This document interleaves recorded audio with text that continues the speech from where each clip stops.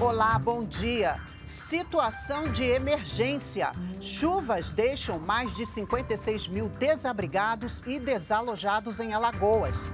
Saque Calamidade será liberado e BPC terá pagamento antecipado para famílias atingidas. Atendimento garantido. Planos de saúde terão que cobrir tratamentos indicados para transtornos como autismo. E faltam 64 dias para o bicentenário da independência do Brasil.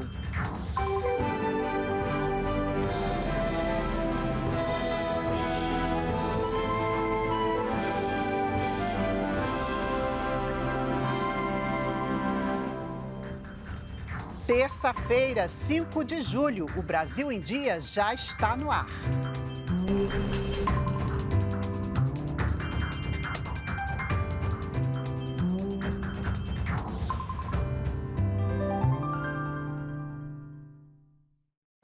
São 8 horas da manhã, estamos ao vivo também pelas redes sociais.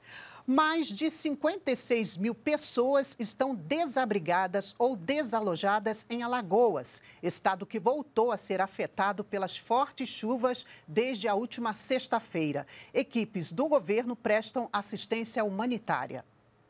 Os temporais que persistem no estado causaram transbordamento de rios e lagoas e deixaram milhares de desabrigados. Desde a última sexta-feira, uma equipe da Defesa Civil Nacional foi deslocada para a região e, segundo o ministro do Desenvolvimento Regional, o governo federal atua de forma conjunta para apoiar ações de socorro e assistência humanitária. No primeiro momento, a gente já acionou as Forças Armadas, estão dando todo o apoio é, nas operações de socorro e assistência humanitária aqui no local. O Ministério da Saúde e da Cidadania, que está aqui com, comigo, foram acionados também no primeiro momento, já estão com equipes à disposição no local para auxiliar os municípios atingidos.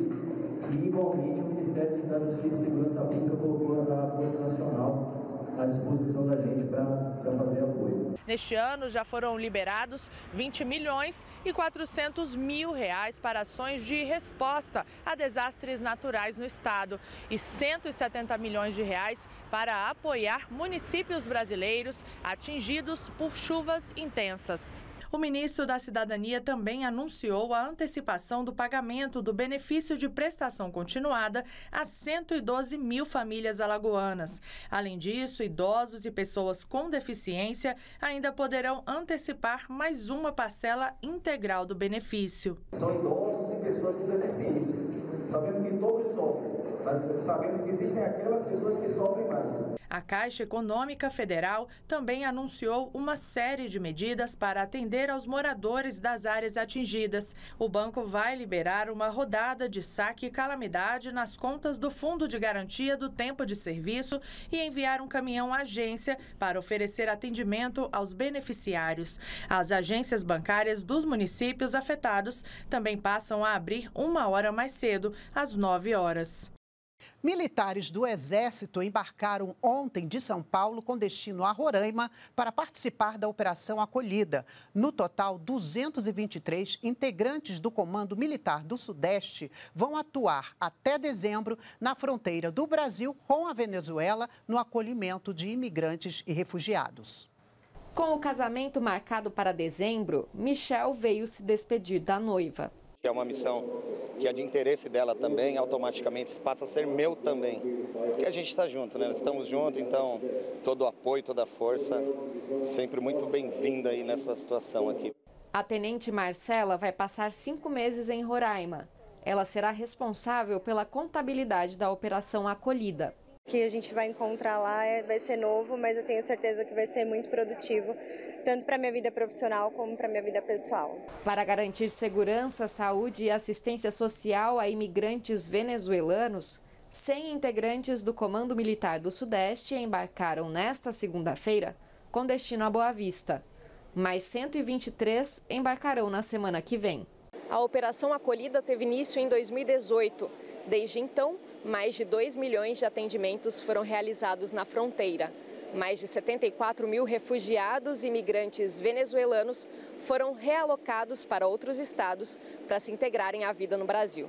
Segundo a Organização das Nações Unidas, em média 540 pessoas cruzam a fronteira da Venezuela com o Brasil todos os dias. Cerca de 5% delas requerem assistência humanitária, que inclui garantir documentação, abrigo, alimentação, vacinação e atendimento de saúde. A Venezuela é o principal país de origem de imigrantes e refugiados que vivem hoje no Brasil, com um total de quase 352 mil pessoas. Entregar pessoas para participar desse tipo de missão faz com que essas pessoas voltem renovadas, faz com que essas pessoas voltem mais experientes e que olhem para outros problemas que a gente tem aqui no Brasil também com, com um olhar diferenciado. O Brasil apresenta um comércio crescente com o mundo árabe, além de termos aqui a maior comunidade fora do Oriente Médio e do norte da África. E para ampliar ainda mais as relações entre o país e o mundo árabe, foi realizado um fórum em São Paulo com a participação do governo brasileiro. O mundo árabe é o terceiro maior mercado brasileiro no exterior. E para o Itamaraty, a relação não foi abalada com a pandemia e nem com o conflito Ucrânia-Rússia. O nosso comércio com os países árabes, que atingiu a cifra histórica de 24 bilhões de dólares em 2021, mostra ainda um enorme potencial de crescimento. O presidente Jair Bolsonaro lembrou que o agronegócio é o principal responsável pelo comércio entre o Brasil e a Liga Árabe. O Brasil é hoje o maior exportador de proteína halal no mundo.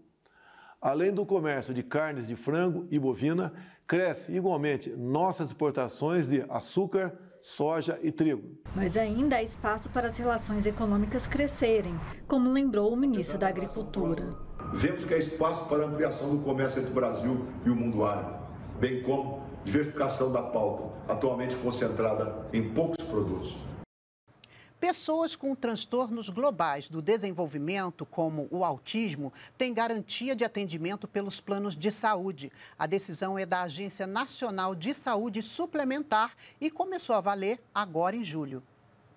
Maria Fernanda é autista. Faz oito terapias com atividades diárias fundamentais para manter uma rotina saudável e aprimorar as funções básicas.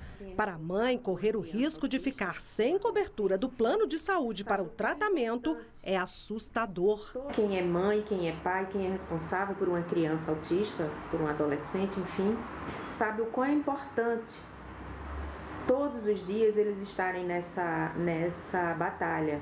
A decisão recente do Superior Tribunal de Justiça, que aprovou o chamado rol taxativo, trouxe muita angústia para os pais, pois limitava a cobertura dos planos ao que estivesse na tabela da Agência Nacional de Saúde.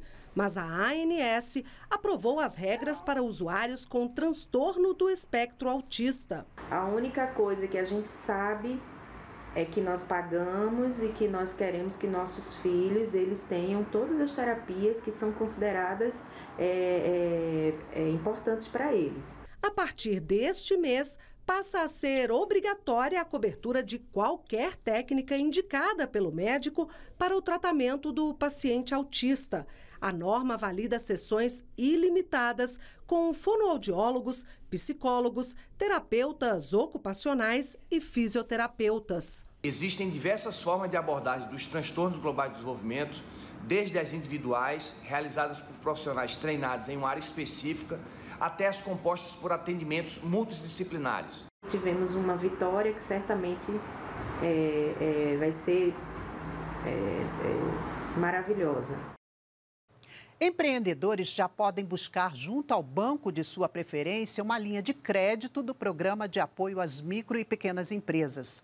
O programa foi criado durante a pandemia para facilitar financiamentos e se tornou uma política de crédito permanente. Dona de um salão de beleza e de uma loja de imóveis em Brasília, Luciana teve dificuldades para manter as operações durante a pandemia. Aos poucos, ela conseguiu recuperar o faturamento e agora vai contar com o programa de apoio a micro e pequenas empresas para expandir os negócios. E eu sei que com esse capital aqui dentro eu vou conseguir melhorar muito o atendimento, melhorar até a questão de divulgação, porque toda empresa precisa de uma boa divulgação. O programa de apoio às micro e pequenas empresas disponibiliza empréstimo com juros mais baixos e prazo maior para começar a pagar.